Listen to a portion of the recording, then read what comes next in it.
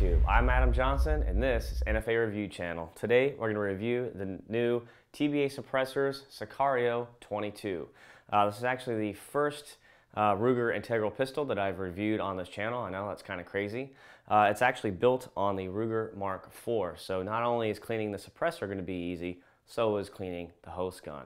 And this can has a little hidden secret about it. Not many people know about it. I didn't know about it till recently. We're gonna cover what makes this integral stand out and so special. Let's get down to the specs.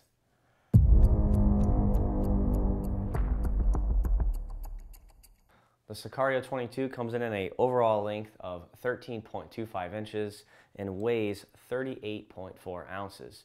Uh, now, that is this particular version, meaning I have the stainless Ruger Mark IV, but I opted for the titanium titanium on the front. So I have a titanium tube and a titanium monocore.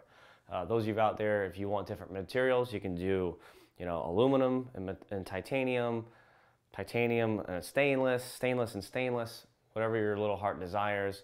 Uh, I opted for the titanium because I wanted the front of the gun to be nice and light, and it is. And all the weight sits back in my hand. It feels really, really nice. And with that beautiful long sight picture, mm, it is a joy to shoot.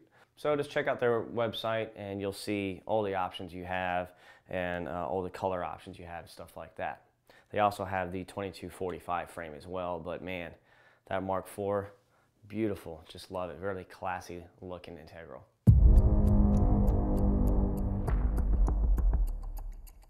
All right, let's go ahead and roll into the field stripping and takedown of this gun so we can discuss more on what's going on on the inside.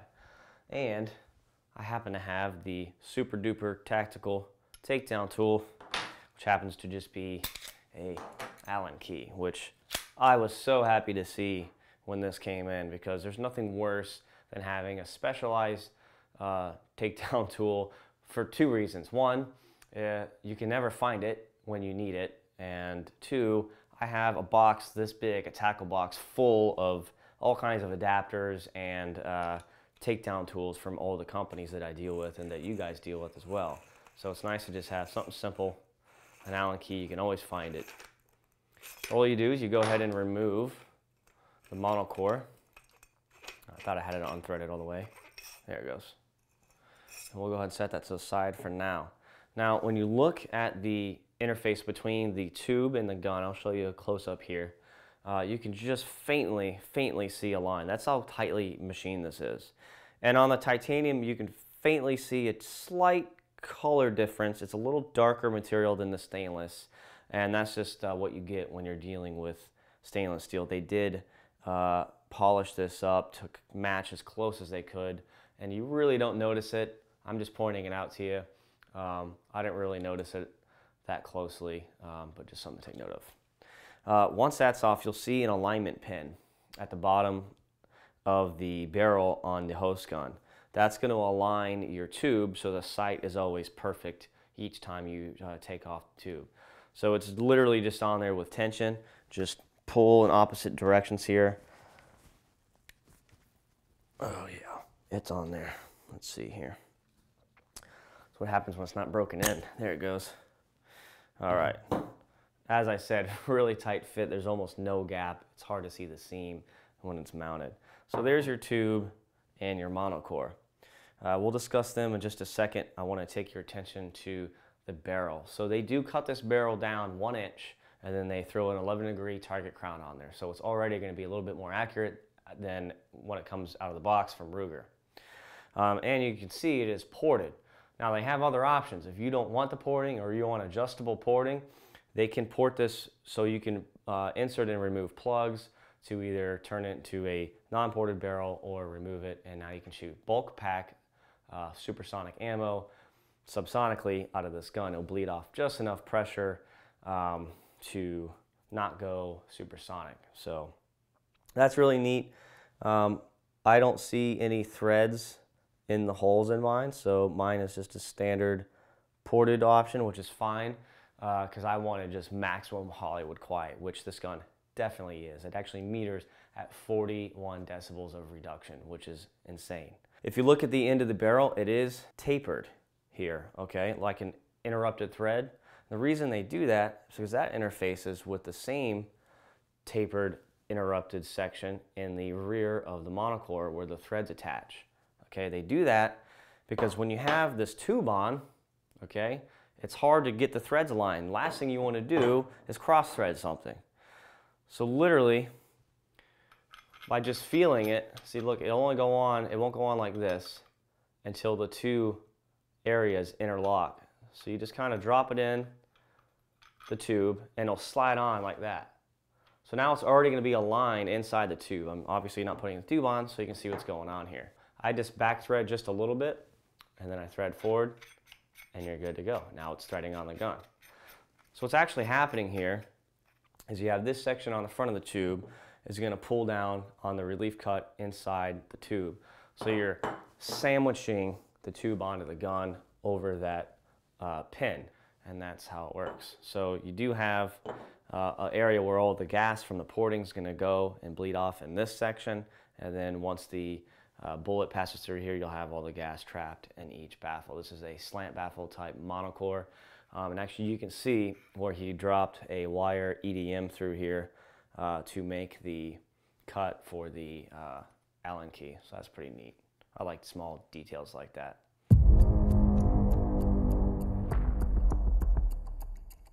As far as cleaning and maintenance on this, guys, don't get too complicated here. Go ahead and just take down your Ruger Mark IV, clean it as you would any other firearm.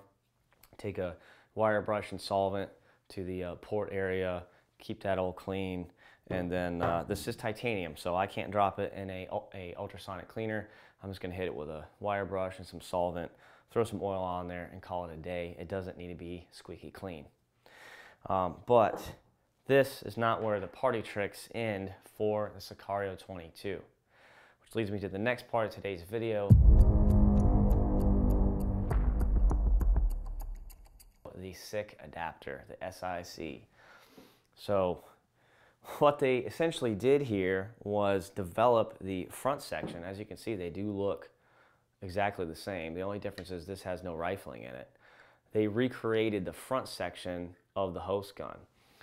And that is for one reason and one reason only. That is to make an integral that you can move to other hosts. Everybody's, uh, you know, gripe about an integral is, well, now you're stuck with it on just one host. Not the case anymore. So basically all you do, we'll go ahead and grab, and we'll grab the little Beretta 92 wannabe. This is a 22 version. Good little trainer gun, by the way. Those of you that have little ones at home, start them off on this, then move them up to the real deal later.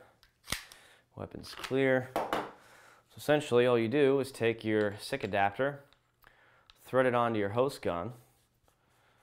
This is pretty neat. I know a lot of you at home are going, because I, I did the same thing when I learned about this. Now you put on your tube, which this has no alignment pin for obvious reasons. Uh, every gun's going to be different uh, where the thread stop for this. But you just line up the sight so it hangs underneath the gun so it's not in the way. Okay. And then that SICK adapter had the same alignment situation going on that this does. And then you just screw it on down and that's all there is to it. Now you can have an integral with a workaround. So I'll go ahead and give the old tighten here. The sight turned a little bit, but you get the picture. Now it, it does look a little ridiculous on here. Uh, I'm actually really curious to see what this sounds like. So, you know, I'll bring a host for this and we'll We'll shoot it with the SICK adapter. Uh, maybe we'll bring this Beretta and we'll see what it sounds like. Um, I'm kind of really interested. Uh, but who cares what it looks like? I mean, come on. If you're shooting this in your backyard for fun, which is basically what uh, most what most people buy a 22 suppressor for, then you're not going to really care as long as it's quiet and you can shoot your Coke cans to hell with nobody knowing. So just go ahead and insert the tool, unthread it here, uh, look, it started to unthread from the gun. I was like, wow, why is that taking so long?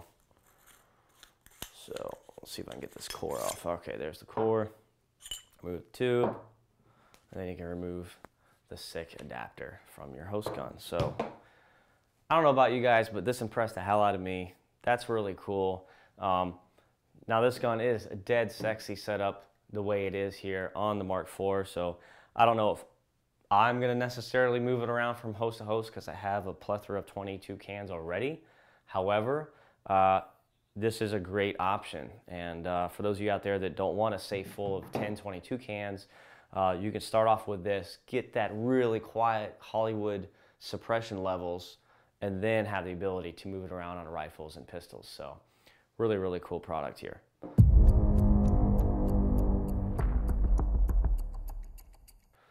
All right, let's set this aside here.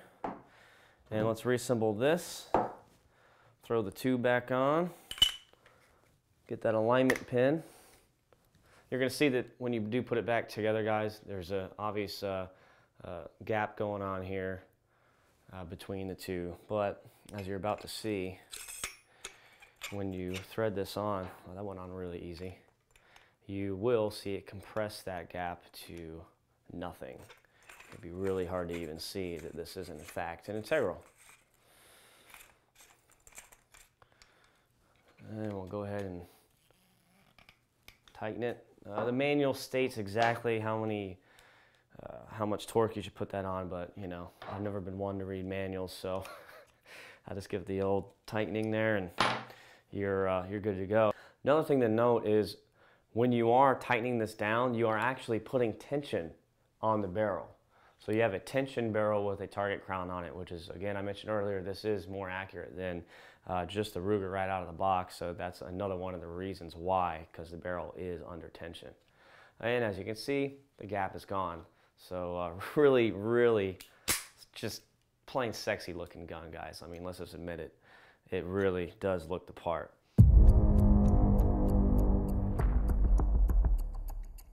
While it looks a little long, I can assure you that because everything's built in, behind me I have the uh, Ruger 2245 Lite. You guys have seen this on my channel for a couple years now.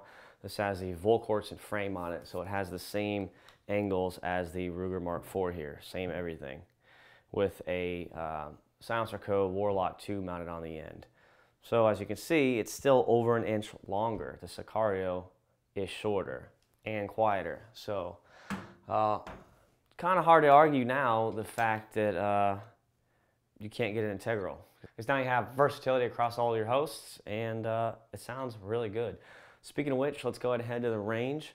Uh, I am going to bring, I, you know what, I'll bring this, that way we can take the suppressor off and we'll get our baseline unsuppressed uh, tone off this host. And then uh, we'll obviously get all the suppression from this and yeah, I'll bring the Beretta and we'll try the SICK adapter on that. So a lot of shooting in today's video, guys. We're gonna do the profile view, we're gonna do downrange view, stuff like that to give you a really good idea of what it sounds like from different angles and distances. Let's go ahead and hit that range.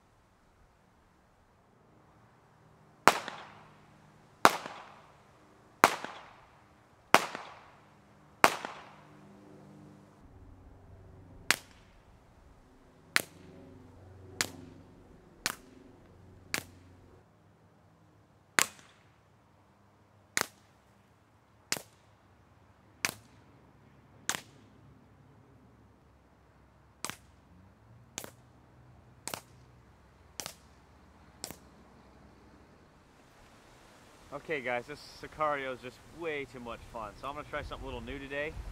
Uh, I'm gonna bring, good lord it's windy. I've been combating this wind all freaking day. Off, off camera I just saw the case blow off the back of my truck, so that's just great.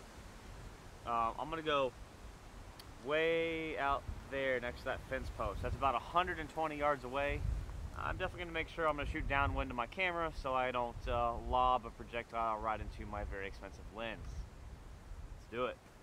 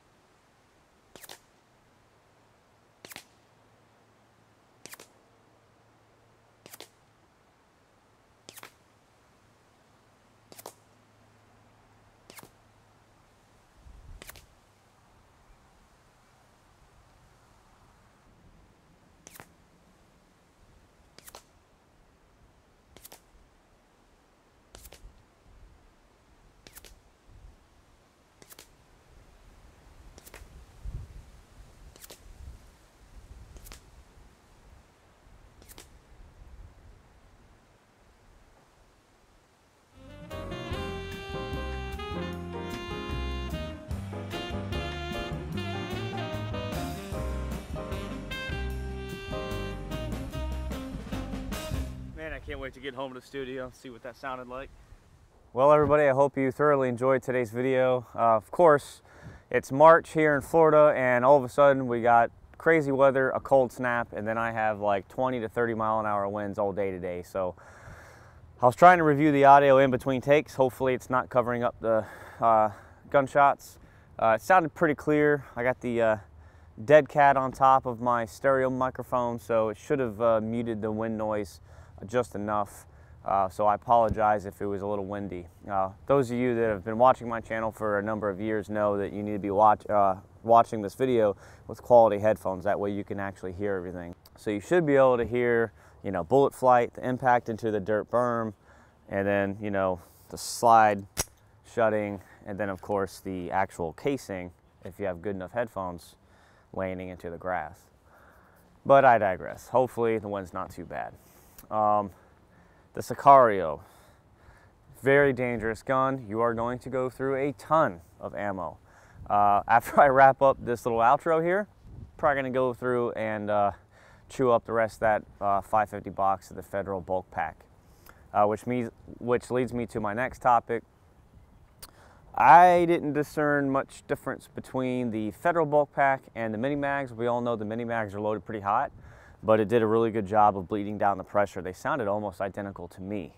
Then we got to the target ammo, the standard velocity stuff, Hollywood quiet, magical stuff. Um, today I did something a little different. We shot at 120 yards. I reviewed it real quick off camera with my headphones plugged into the camera and it sounded pretty awesome. It sounded pretty much just like bullet flight, even with the federal bulk pack stuff that's loaded a little hotter.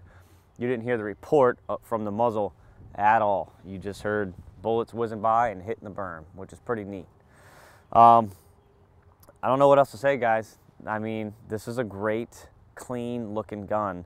Uh, little side note too that I forgot to mention in the studio. Of course, I left my house without the takedown tool, the Allen key.